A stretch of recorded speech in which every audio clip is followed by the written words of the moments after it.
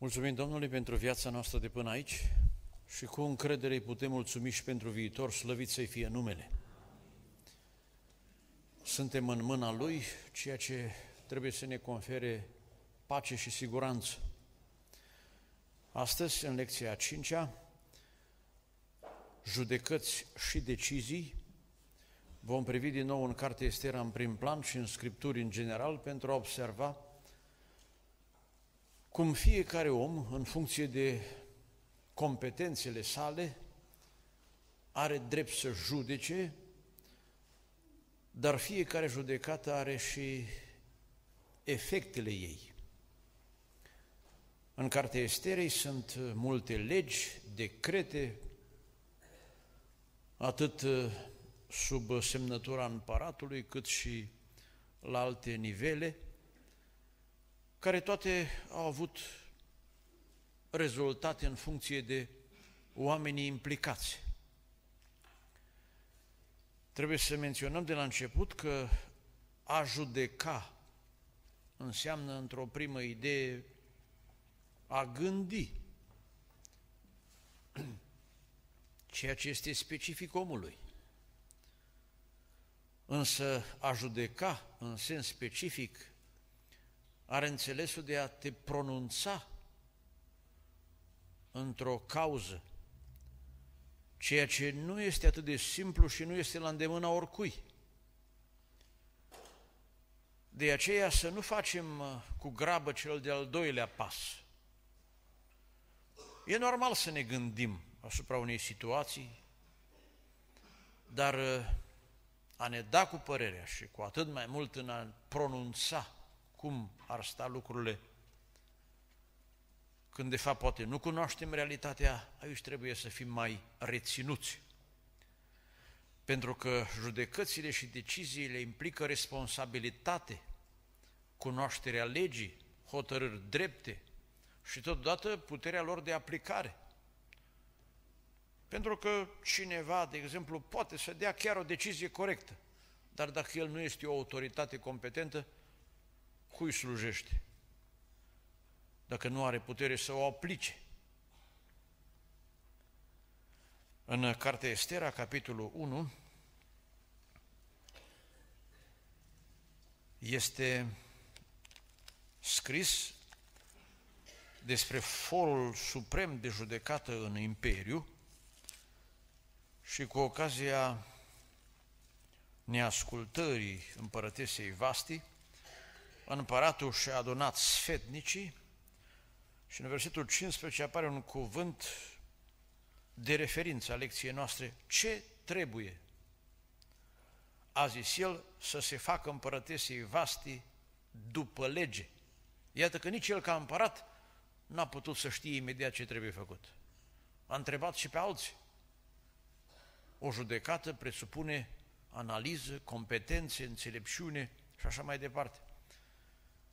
Aici istoria s-a derulat la nivelul unui imperiu, observați și la nivelul unui stat. Există o multitudine de legi, de exemplu, cum este cazul în Regatul Unit sau în celelalte țări, în mod deosebit și în România, o Constituție ca și o lege fundamentală, apoi alte legi, decrete, hotărâri urmate de metodologii privind aplicarea lor, lucruri complicate. Evident că noi nu ne gândim la problemele care se iau la nivel național, chiar dacă ele ne implică și pe noi. În primul rând, noi studiem în lecția aceasta pentru a ști la nivel de biserică, de familie sau dacă are cineva și competențe la servici sau la nivel local, în așa fel încât să fim drepți înaintea lui Dumnezeu și în urma gândirii și a hotărârilor noastre să fie slăvit Dumnezeu și oamenii să fie ajutați.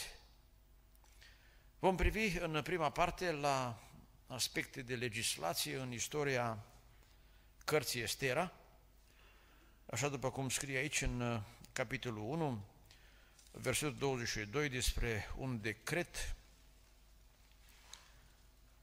Așa era atunci un fel de monitor oficial al vremii și publicarea lui aducerea la cunoștință a poporului, au trimis scrisori tuturor ținuturilor din împărăția lui, fiecărui ținut după scrierea lui și fiecărui popor după limba lui.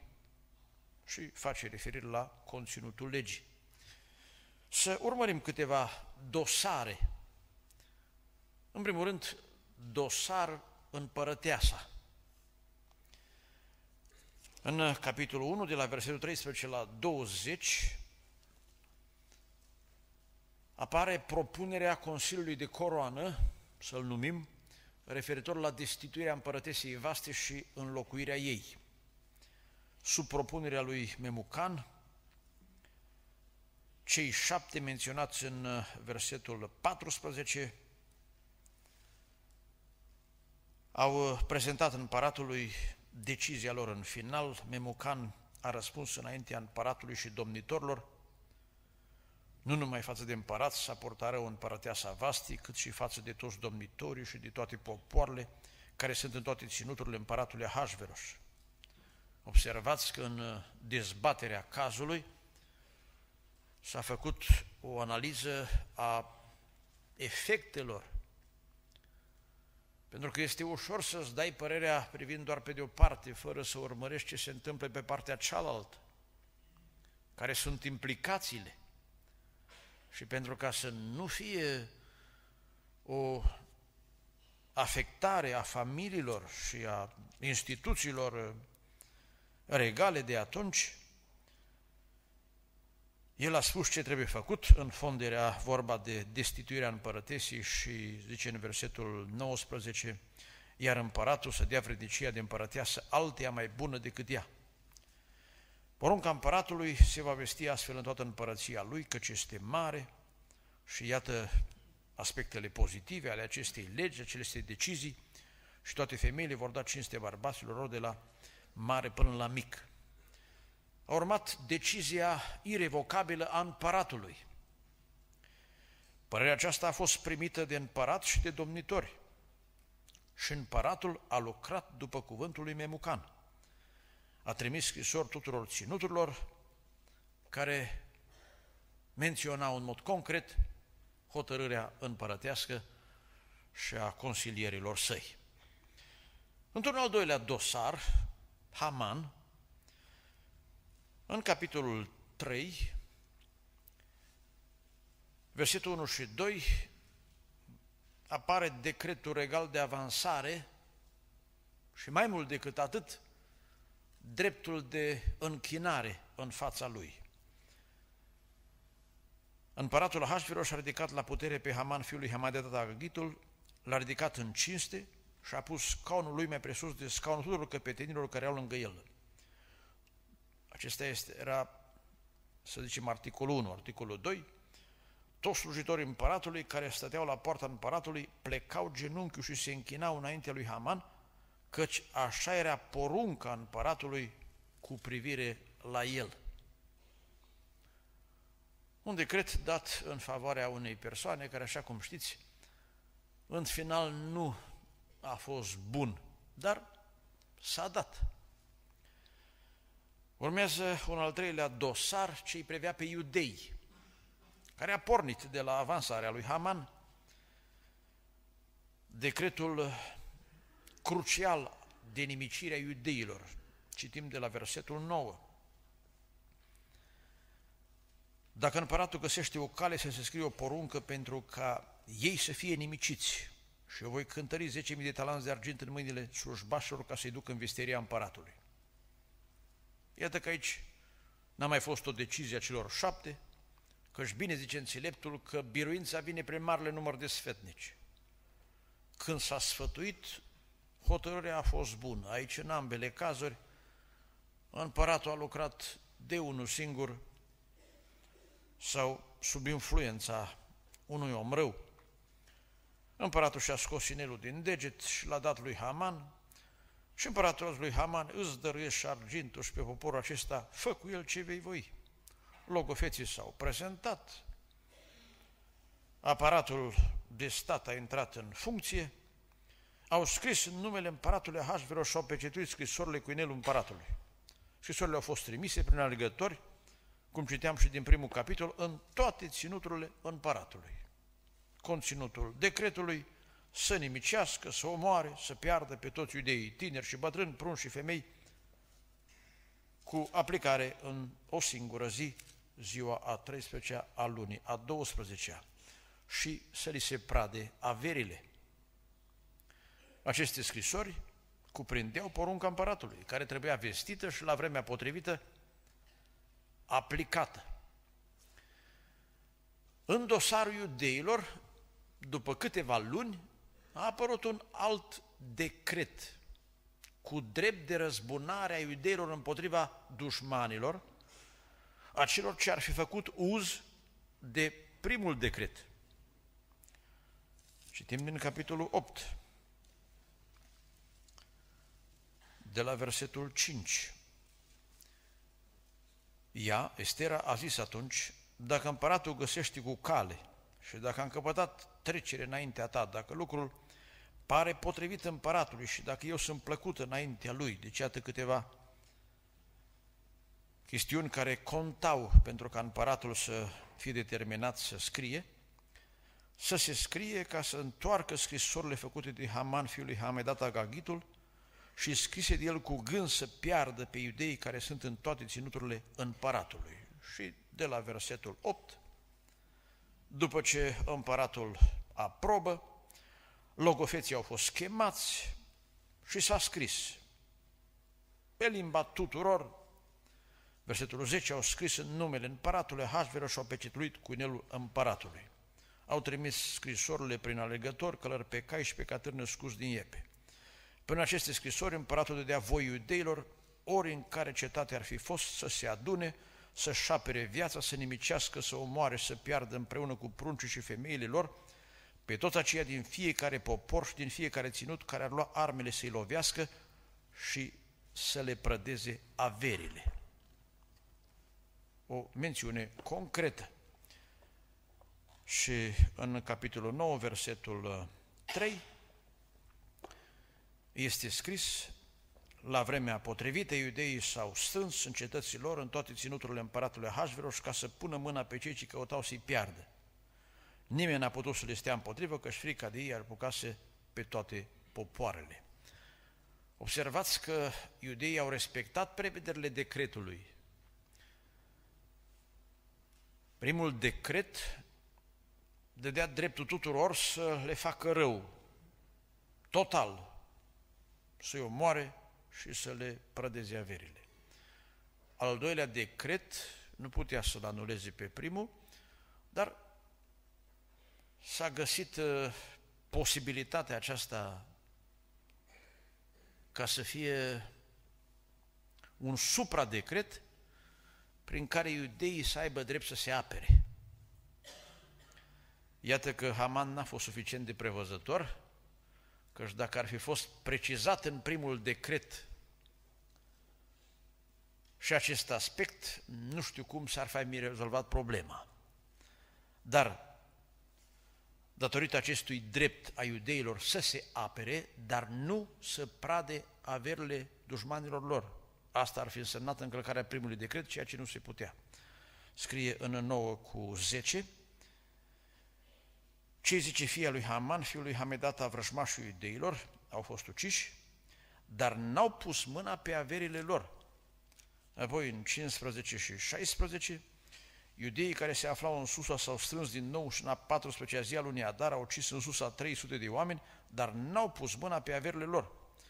Ceilalți iudei din celelalte ținut ale împăratului s-au strâns și și-au apărat viața. Doar atât le-a fost dat prin decret. Au căpătat astfel o dihnă scăpând de vrășmașii lor și au ucis 70 și 5 de mii din cei ce le erau vrășmași, dar n-au pus mâna pe averile lor. Într-un al patrulea dosar, Mardoheu. În capitolul 8 este decretul regal de înlocuirea lui Haman cu Mardoheu, după ce Estera i-a spus relația de rodenie cu el, și bineînțeles împăratul știa că Mardoheu i-a făcut bine cu un timp în urmă, împăratul și-a scos inelul pe care l luase înapoi de la Haman și l-a dat lui Mardoheu Estera din partea ei a pus pe Mardoheu peste casa lui Haman. Versetul 15, Mardoheu a ieșit de la împărat cu o haină împărătească albastră și albă și cu o mare crună de aur și cu o mantie de insubțire și de purpură. Cetatea Susa striga și se bucura.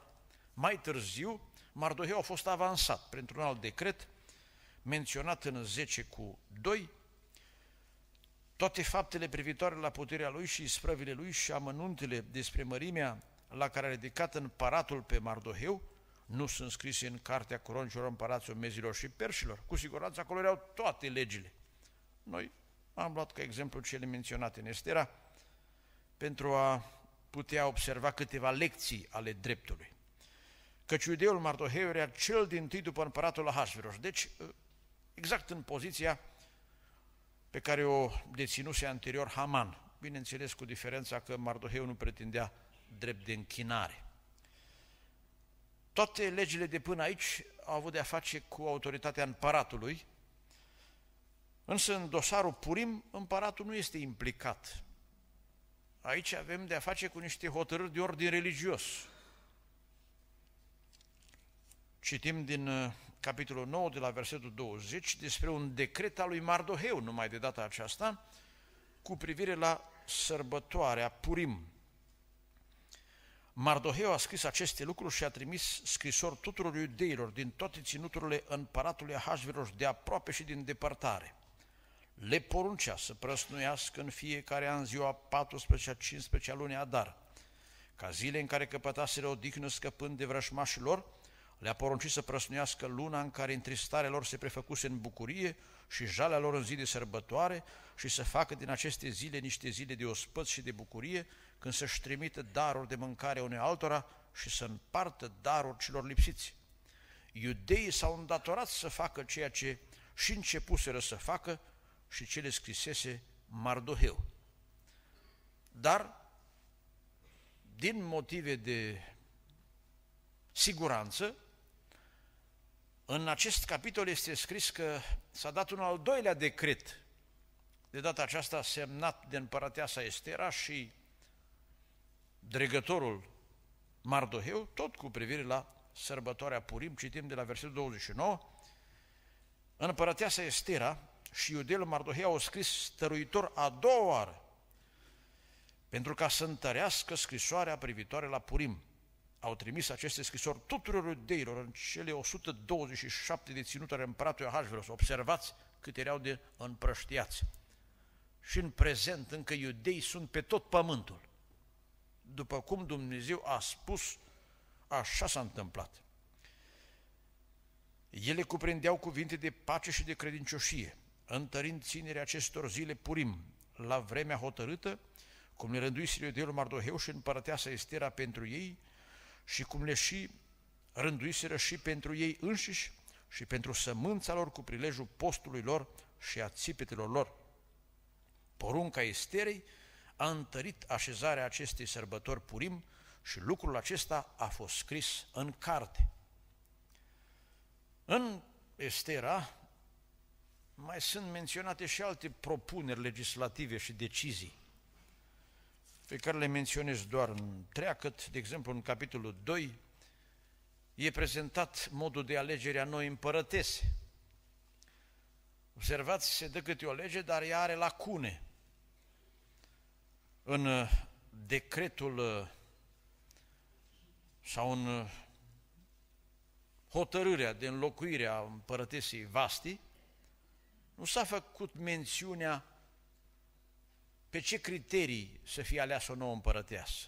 În aceste condiții, spune Scriptura aici în capitolul 2, de la versetul 1, după aceste lucruri, versetul 2, cei ce slujeau împăratului au zis să se caute pentru un împărat niște fete fecioare și frumoase, Împăratul să pună în toate ținutul împărăția lui dregători, însărcina să strângă pe toate fetele fecioare și frumoase în capitala Susa, în casa femeilor, sub privegherea lui Hegai, famenul împăratului și păzitorul femeilor, ca să le dea cele trebuincioase pentru gătit. Și fata care îi va plăcea împăratului să fie împărăteasă în locul Vastii. Părerea aceasta a fost primită de împărat și așa s-a făcut. Apoi, ca și o decizie personală în care nu putea fi implicat nimeni, a fost alegerea Esterei. Fetele au venit rând pe rând și scrie în 2 cu 17, împăratul a iubit pe Estera mai mult decât pe toate. Ea a căpătat trecere, i-a pus cu una împărătească pe cap și a făcut o împărăteasă în locul vastii. De exemplu, suntem implicați în multe decizii, dar mă gândesc la tineri și la noi în general ca familiști, o decizie este și cea referitoare la căsătorie. Și am vorbit până acum, decizii referitoare la zile de adunare. Toate acestea sunt responsabilități care ne implică pe fiecare dintre noi, într-un fel sau altul, mai degrabă sau mai târziu. Și o ultimă mențiune, capitolul 7, propunerea de executare a lui Haman, versetul 9, și Harbona, unul din famine, a zis în fața împăratului, iată spânzurătoarea pregătită de Haman pentru Mardoheu. Împăratul a zis, Haman să fie spânzurat pe ea, și acesta s-a și executat conform versetului următor și mânia împăratului s-a potolit. Până în seara aceasta, oare în câte decizii am fost implicați? Trebuia sau nu trebuia? Au fost drepte sau nedrepte? Am avut competența necesară sau nu? Să ne amintim de cuvintele Domnului Isus care spunea, Evanghelia după Matei, capitolul 7, versetul 1 și 2, Nu judecați ca să nu fiți judecați. Deci orice implicare te expune riscului de a fi judecat.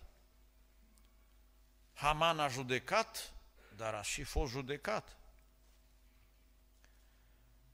În versetul 2 este scris că și cu ce judecată judecați, veți fi judecați. Și cu ce măsură măsurați, vi se va măsura. Problema judecății este foarte sensibilă. De aceea să rugăm pe Domnul să ne dea pricepere, să avem îngăduință. Mila bire judecata, spune Iacov în epistola sa. Dar în același timp, anumiți oameni trebuie să se implice să rostească o judecată. De exemplu, părinți, dacă apare o discuție în familie, între copii, sunt datori să se pronunțe la nivelul unei adunări. De aceea vă propun acum în partea a doua aplicativă, după ce am trecut în revistă câteva legi, decrete, hotărâri din Cartea Esterei, mă gândesc câte ascunde istoria, câte s-au spus și de câte ori oamenii s-au pronunțat. Eu vă rețin cu câteva lecții ale dreptului. Conform celor ce am citit în cartea Estera, adică potrivit legilor, mezilor și perșilor, și să luăm exemplul acesta, anumite hotărâri sunt irevocabile și odată pronunțate, nu mai permit nici recurs, nici abatere. În primul rând să fim atenți la aceste judecăți asupra cărora nu se mai poate reveni. Dacă sunt chestiuni care permit modificare de la o zi sau alta, amendamente, putem să fim mai relativi, cel puțin sub acest aspect, deși nu indicat să greșim. Dar dacă s-a luat o hotărâre definitivă, de exemplu, sunt întrebați miri în ziua anunții, până când? Până la moarte. Se mai poate reveni? E dup- nu după legea mezilor și perșilor, e după legea Bibliei. Da, al vostru să fie da, nu al vostru să fie nu. Cuvintele Domnului Iisus Hristos scrise în Matei 5. Sau cineva decide să plece de aici, să se mute în altă țară. Nu că n-ar mai putea reveni înapoi, dar, de exemplu, dacă își vinde casa, dacă intră într-o anumită acțiune economică, s-ar putea să nu mai poată reveni din uh, motive de imposibilitate materială. Nu că n-ai avea dreptul, nu mai poți să mai refaci ceva. De aceea să fim atenți, citind din nou din Estera 8 cu 8, atunci când punem astfel de ștampile, când folosim inelul deciziilor definitive. Se mai întâmplă uneori că ne supărăm și spunem gata, s-a terminat pentru totdeauna. Pui sigiliu și după câteva vreme te apuci și rupi. Nu te-a pus nimeni să pui în el un părătesc, să fie o decizie definitivă. Estera 8 cu 8, partea a doua. Căci o scrisoare scrisă în numele împăratului și pecetluită cu inelul împăratului nu poate fi desfințată. Sunt anumite acțiuni în care noi suntem împăratul. Și decizia ne aparține. Sunt propuneri, influențe. Dar dacă se decide, apoi nu se mai poate întoarce înapoi. Cred că cel mai măreț exemplu nu este împăratul Hașvero și legile neamurilor pe care le guverna, ci autoritatea lui Dumnezeu, cel care zice și se face. Va veni vremea când Dumnezeu se va pronunța, iar în unele privințe s-a și pronunțat deja. Și peste cuvântul său nu mai poate trece nimeni. Inima împăratului scrie în proverbe că este un izvor în mâna Domnului pe care îl îndreptă încotro vrea. Dar inima lui Dumnezeu cine mai poate îndrepta? Și Dumnezeu nu-i om să-i pară rău, nici să mintă. Sunt situații în care Dumnezeu se schimbă. Zice în Ieremia 18 că Dumnezeu zice despre ce rău va fi nimicit, dar dacă se pocăiește, nu-l mai nimicește. Da, dar tot în Ieremia, printre altele, îi spunea Dumnezeu profetului, nu mai mijloci. Li s-a rostit sentința. Sau să ne gândim la ce este scris în cartea Apocalipsei. Și tot sub acest aspect, să nu ne temem de ceea ce spun oamenii și cred că e definitiv ceea ce rostesc ei. Nu e adevărat. Au fost situații în care medicii sau autoritățile, să ne gândim la faraon care a zis lui Moise, să nu cumva să te mă arăți înaintea mea că ziua în care te vei arăta vei muri. Și a zis Moise să știi că nu mă arăt, în sensul că n-a mai venit din proprie inițiativă, l-a chemat faraon. Nu oamenii au ultimul cuvânt, îl are Dumnezeu. Împăratul a pecetluit cu inelul lui, apoi s-a revenit încât s-a putut cu acel contradecret. Însă Dumnezeu este autoritatea finală. De aceea spunea Domnul Iisus, nu vă temeți de oameni, temeți-vă de Dumnezeu, de acela care are putere să arunce și sufletul și trupul în ghenă. Doamne, ajută-ne să privim la puterea și măreția Ta. În fața lui Dumnezeu duhurile cad în leșin. De aceea nu vă temeți, că nu diavolul deține inelul acesta. Ar fi vrut el să-l dețină și să aibă puterea morții, așa ca Haman. Dar Tatăl este autoritatea supremă, iar cât despre judecată, a dat-o Fiului, iar Tatăl și Fiul una sunt. Slăvit să fie Domnul. De altfel, tot în ideea aceasta spun că puterea unei legi este direct proporțională cu puterea organului emitent. De exemplu, pe vremea comunistă, hotărârile CC al PCR, dacă vă amintiți așa pe scurt, păreau puternice. Dar apoi toate cărțile și legile lor au ajuns la hârtie pentru tipografie, pentru a intra din nou în procesul de producție. De ce? Pentru că autoritatea lor a pierit. Chiar și legile mezilor și perșilor, nu știu câtă vreme au ținut, câtă vreme au fost la putere, când se vedea inelul împăratului, era ceva de temut. Dar când, așa cum mi-era profețit în Daniel, a venit un țap de la apus și am pus berbecele acela cu două coarne, n-am mai pus nicio ștampilă. Însă Dumnezeu rămâne de pururea să stăpânească și să hotărască. Aici, în capitolul 9, este scris că după ce a ajuns Mardoheu la conducere, versetul 3, îi apucase frica pe care o insufla Mardoheu, că și Mardoheu era puternic în casa împăratului. Și faimea lui se răspândea în toate ținuturile pentru că ajungea din ce în ce mai puternic. Pe vremea lui Naman, Haman avea putere ce spunea el, acum avea putere ce spunea Mardoheu. Noi însă să avem încredere că Dumnezeu în orice vreme este același.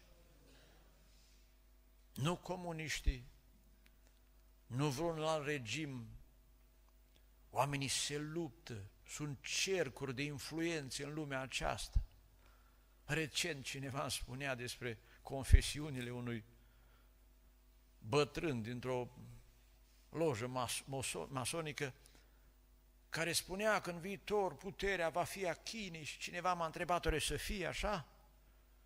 Și am spus, astea sunt planuri. Planuri sunt făcute în felul acesta, alții au altfel de planuri. Dacă ele vor deveni realizabile, asta Dumnezeu decide. Planuri sunt, hotărâri se iau, însă, așa cum scrie în psalm, puterea este a lui Dumnezeu, slăvit să fie numele. În al doilea rând, observăm din cartea Esterii, și asta trebuie să ne dea de învățat, că unele decizii au fost luate în stări lipsite de raționament curat sau de cunoaștere reală a situației. Legi date în pripă, fără să fie cunoscute culisele și influențele. Să vă gândiți, împăratul a dat un decret împotriva iudeilor, a revenit, a dat un decret în favoarea lor.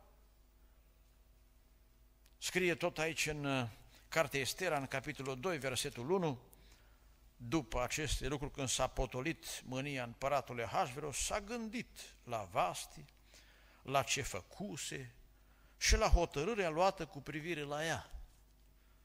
Adică unele sunt deciziile în stări de nervozitate și apoi ne gândim când ne liniștim dacă am procedat corect, dacă este bine. Culmea apare aici în capitolul 7, versetul 5. Când împăratul pune o întrebare și nu-i face cinste. Împăratul Ahasvera și-a luat cuvântul și a părătese Estera, cine și unde este acela care are de gând să facă așa? Împărate, e legea ta. Numai că atunci când a dat-o era beat. Așa scrie în capitolul 3, că stătea și bea împreună cu Haman. Și acum întreabă cine e? E omul de lângă tine, cum nu știi? Cum? Cu inelul tău. De aceea să nu ne pripim ca să nu ajungem ca în situația aceea când nu știu cât e de adevărată, dar este bogată în, în, în conținutul ideii.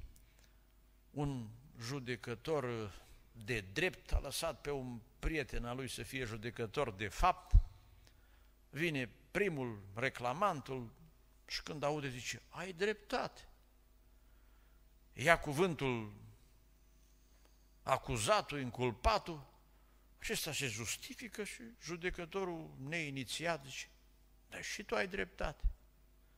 Atunci judecătorul oficial intervine, întrerupe ședința și îi spune, măi, nu se poate să aibă amândoi dreptate. Păi bine zice, ai dreptate. Atunci când nu gândim, n-are cum să fie rostită o hotărâre înțeleaptă. În proverbe e scris că cine dă dreptate la întâi veniții, tot una cu a dat dreptate la nebuni. Fără a te gândi ce efecte vor urma. Eu nu pot să-i dau o notă bună la împăratul Ahasveros nici după ceea ce a spus Esterei când zice în capitolul 5. Asta pentru că n-a făcut-o din iubire, ci pentru că era o vorbă pe care împărații în grandomania lor rostea uneori, când a întins uh, vârful toiacului, zice apoi în uh, capitolul 5, versetul 3, ce ai tu împărăteasă Estera și ce ceri? Chiar dacă ai cere jumătate din împărăție, îți voi da. Oare s-a gândit el ce înseamnă jumătate din împărăție? Să rămână el numai cu 60 și ceva de ținuturi și celelalte la Estera ce a vrut să fie? Să o facă un fel de coregență? Nu știu. A fost o vorbă așa. Vă amintiți încă un împărat care a rostit vorbele astea? Irod, nu era nici el treaz atunci. O vorbă în pripă. Am citit de încă despre un uh, împărat care tot în antichitate a promis să dea mult și tot o fată, ca și în cazul lui Rod, i-a cerut haina specială pe care o făcuse cadou regina. Atunci el uh, și-a revenit și-a dat seama că asta ar fi o frustrare enormă pentru împărăteasă și a spus, fiindcă cererea ta a fost modestă, el, evitând criza, a zis, îți ofer un oraș și un corp de armată pentru a fi păzit. Și asta a dat. Și noi putem să promitem repede, să hotărâm ușor, să luăm un caz din Biblie, 2 Samuel, capitolul 12, se prezintă Nathan la David și prezintă o întâmplare ipotetică despre un fermier care a primit un oaspete și nu a vrut să-i pregătească ceva, doar avea destule. A trimis un angajat să sară gardul să ia de la vecinul singura mielușea. Și când aude David o așa nedreptate, scrie aici în versetul 5, s-a aprins foarte tare de mânie împotriva omului acestuia și a zis lui Nathan, viu este Domnul cu omul care a făcut lucrul acesta, este vrednic de moarte. Și să dea înapoi patru mii pentru că a săvârșit fapta aceasta și n-a avut milă. Dacă vom observa prevederile legale din cartea Exod, ne dăm seama că David a fost cam aspru aici. Dar așa este omul în mânie. Numai că atunci când a aflat că e vorba despre el, a cerut milă de la Dumnezeu.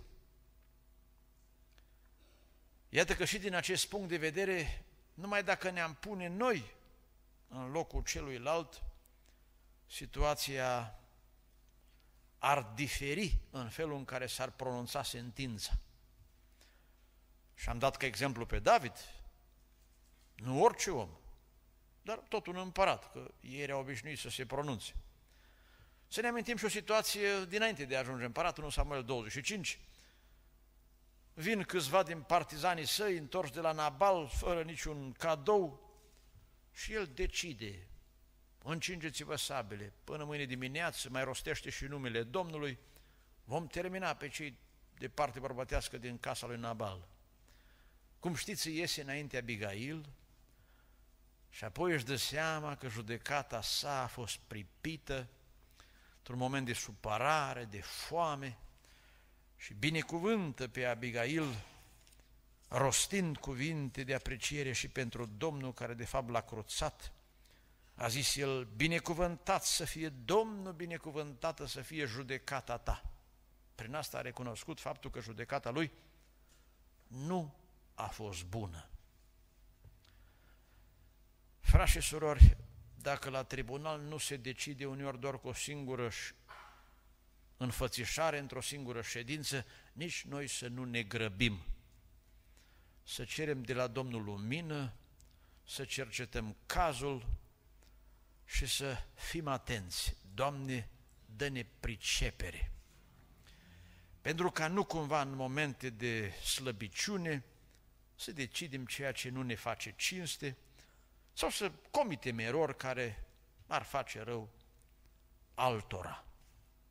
Adesea judecățile se iau în necunoștință de cauză, în mod pripit și ca atare greșit. Într-o a treia idee despre legile dreptului, notez că judecățile și deciziile necesită un for de analiză și de judecată competentă. Fără legi care să fie cercetate, fără o analiză judicioasă, fără o consultare competentă, nu se pot lua cele mai bune decizii. Amintiți-vă de ce am vorbit în lecția 2. Pe rol există influențe. Și în lumea aceasta, în România, de exemplu, se face atac caz de corupție, dar tot oameni sunt peste tot. E drept că noi avem o, o înclinație mai balcanică, așa suntem acuzați. Există interese. Scriptura evidențiază puterea mitei. Vă citesc din Exod 23 ce spunea legea despre judecăți. Să ne amintim de timpul care îl petrecea Moise în a judeca, de înțelepciunea lui, de incapacitatea unora de a se putea pronunța. Versetul 2 să nu te iei după mulțime ca să faci rău și la judecată să nu mărturisești trecând de partea celor mulți ca să abați dreptate. O influență, mulțime. Doi, să nu părtinești pe sărac la judecată, el nu are ce să-ți dea. Versetul 4, a treia idee, dacă întâlnești boul vrășmașului tău sau măgarul lui rătăcit, să îl aduci acasă. Când ești dușman cu cineva, pe un prieten, altfel îl judeci. Apoi, versetul 7, ferește de o învinire nedreaptă și să nu omor pe cel nevinovat și pe cel drept, căci nu voi ierta pe cel vinovat. Să nu primești darul, căci darurile orbesc pe cei ce au ochii deschiși, dar dacă nici ochii n-au putut să observe tot ce s-a întâmplat. Și sucesc hotărârile celor drepți. Doamne, ajută-ne! Ca nu cumva niște decizii greșite la nivel de familie, când e vorba de niște probleme succesorale, să creeze a ceea ce zice în proverbe o relație de fras nedreptățiți, care sunt mai greu de înlăturat decât zăvoarele unei case împărătești. Rugați-vă și pentru cei ce în biserică trebuie să se pronunțe în vreun caz anume, să poată fi drepți, să explice decizia, în așa fel încât să nu greșim. Amin? Reîntorcându-mă la cartea Estera, citesc din capitolul 1, unde observăm că împăratul avea un for competent de judecată. Și în cazul acesta, când s-a apelat la cei șapte, decizia a fost corectă. A fost în uh, ordine evenimentelor dictate de Dumnezeu. 1 cu 13, atunci împăratul a vorbit cu înțelepții. Iată, un prim aspect al judecății, înțelepciunea, care cunoștea obiceiurile vremii, că și pe lângă legi sunt adesea cutume sau alte aspecte aferente căci așa se puneau la cale treburile împăratului, înaintea tuturor celor ce cunoșteau legile și dreptul, și menționează pe cei care vedeau fața împăratului și aveau locul întâi în împărăție. Cum vă citeam și din capitolul 2 că și alți slujitori au avut influențe. Dar în mod deosebit deciziile mai importante trebuie luate apelând la cei mai competenți oameni. De aceea este bine să cerem sfat. Spune Scriptura în proverbe că înțeleptul primește, numai nebunul nu se consultă. Zice Scriptura în Iacov, capitolul 3, că înțelepciunea care vine sus este ușor înduplecătoare. Moise a primit sfatul socrului său. Asta, cum spuneam, la nivel de familie putem fi ajutați în a ne ușura activitatea, în a ne îmbunătăți condițiile de viață. Spune tot aici în Estera, în capitolul 8,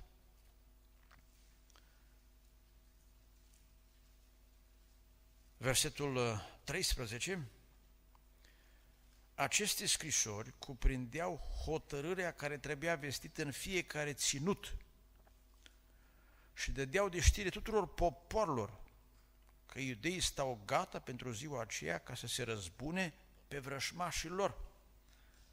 Observați, este foarte important să fie și o exprimare clară,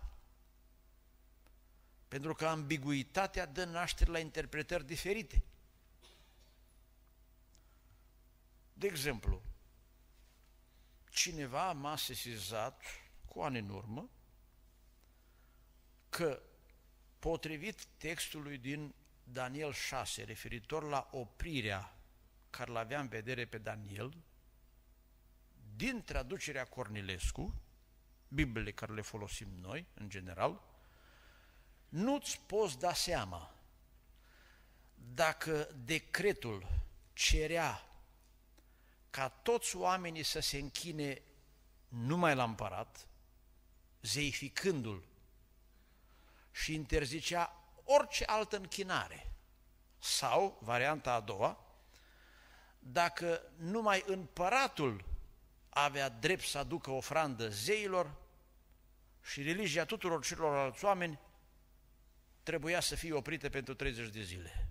Citiți, vă rog, și veți vedea că după felul în care apare exprimarea în traducerea Cornilescu, nu-ți poți da seama care din cele două variante a fost uh, promulgată atunci. Mie mi s-a întâmplat uneori că sunt mai scumpe vorbe. Fie că redau în cuvinte mai puține, fie că sunt mai telegrafic, mai rapid și unii nu înțeleg în mod suficient. Acum e drept că și cine e prea stufos la vorbă te obosește și atunci înțelegi de prea înțelegi până uiți.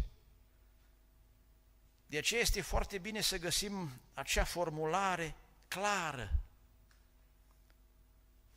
care să nu aibă și prea multe cuvinte care să repete, dar în același timp să nu aibă nici lacune, să fie rostit într-o limbă foarte actuală. Știți cugetarea aceea? Cele mai multe probleme sunt datorate de faptului că oamenii nu-și exprimă corect propriile gânduri și le interpretează greșit pe ale altora. Și omul rămâne cu ce a înțeles, nu cu ce s-a spus.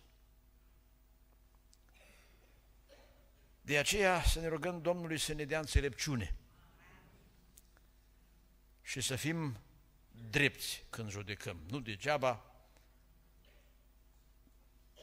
când e vorba de judecată, într-un mod corect, se numește domeniul acesta al dreptului.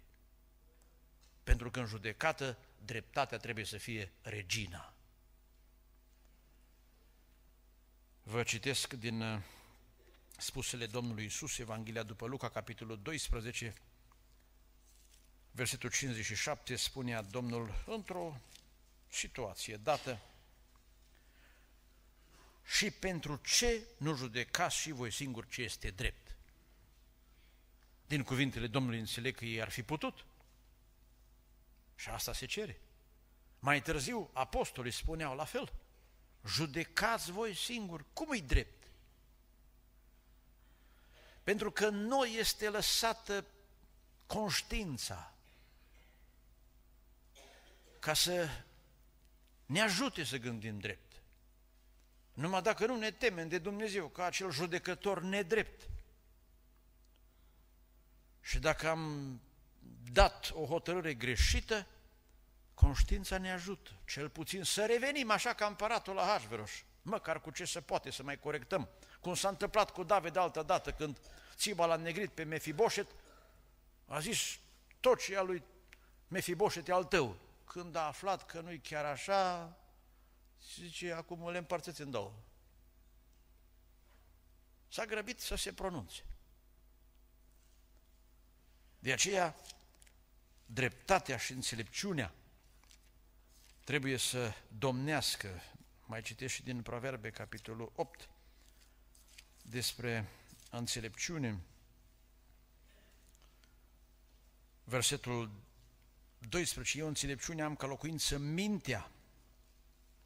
Versetul 14. De la mine vine sfatul și zbânda, eu sunt priceperea mea, este puterea, prin mine împărățesc împărații și dau voivozii porunci drepte.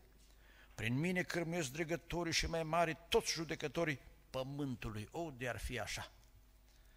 Este în poporul Domnului și așa va fi și în împărăția Lui. Așadar, reiau, sunt anumite legi irevocabile, în mod deosebit să fim atenți la ceea ce se pronunță în mod definitiv. După cum spune o vorbă înțeleaptă, ceea ce se noadă cu limba nu se mai deznodă nici cu dinții. În al doilea rând, să fim atenți, căci iată chiar în parați sau foruri abilitate să dea legi au greșit, au fost influențați, s-au pripit, și s-au întâmplat atâtea lucruri rele, sau era să se întâmple, însă Dumnezeu a intervenit. Chiar și în procesul creșterii copiilor, a dat astăzi un decret, mâine se revine, azi așa, sau tata într-un fel, mama într-altul, iar ne gândim, iar rostim, este rău. Și în al treilea rând să ne dăm seama că judecății necesită competențe pentru a putea fi rostite cu înțelepciune și îndreptate. Cunoașterea legilor, o minte lucidă, evitarea dalor, a prieteniilor, dreptate. Închei.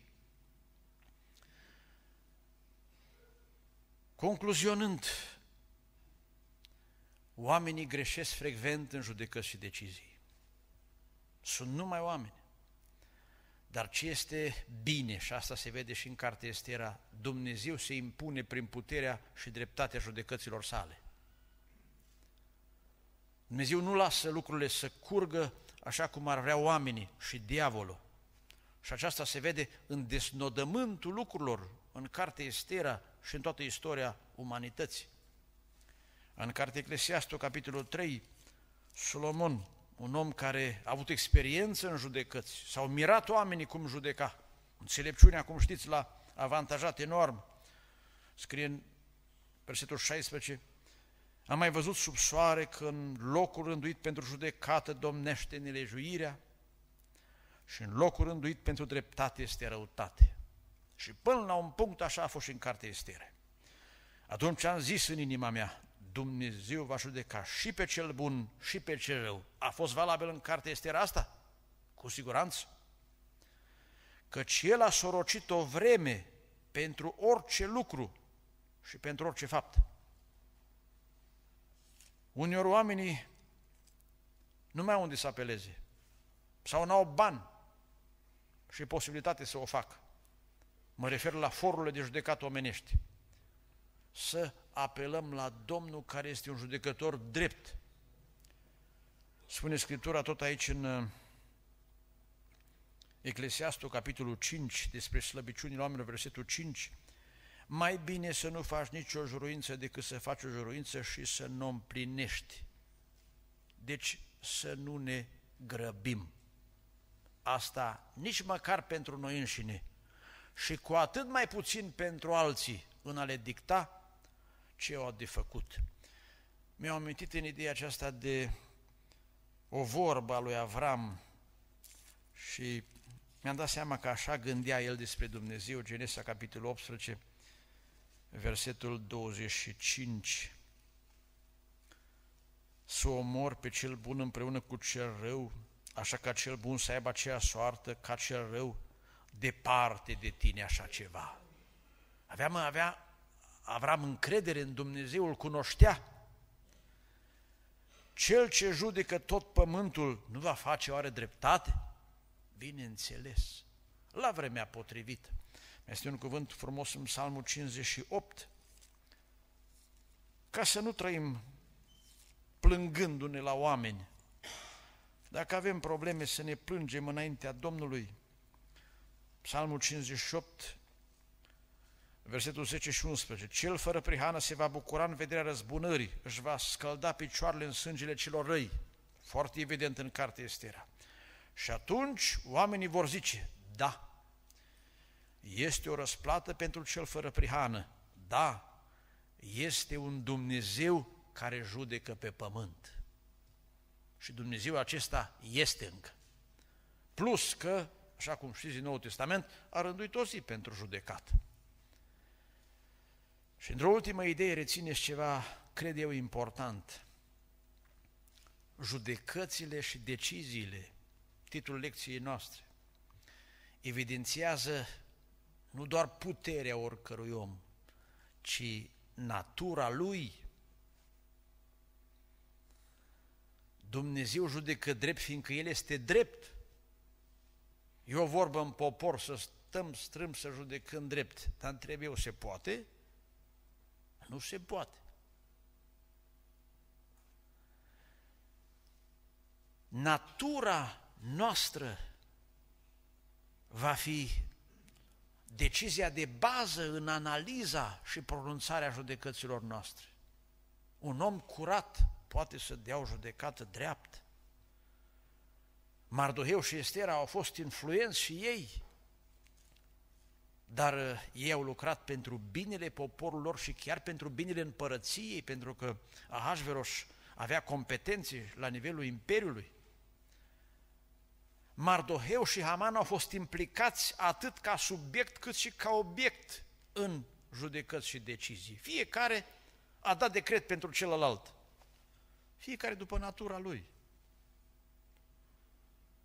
Adică noi judecăm după cum ne este natura și când vom fi judecați, vom fi judecați tot după cum ne este natura. Cel rău judecă rău și el va fi judecat după răutatea lui. Cel drept va judeca cu dreptate și la rândul când va veni rândul lui să fie judecat, Dumnezeu tot drept va fi față de el. Așa că, în fond, grija noastră, numărul unu, ar trebui să fie să avem o natură curată, să fim oameni neprihăniți. Și apoi să cerem de la Dumnezeu înțelepciune și să ne interesăm și în funcție de competențe să ne pronunțăm, Doamne, ajută-ne, amin.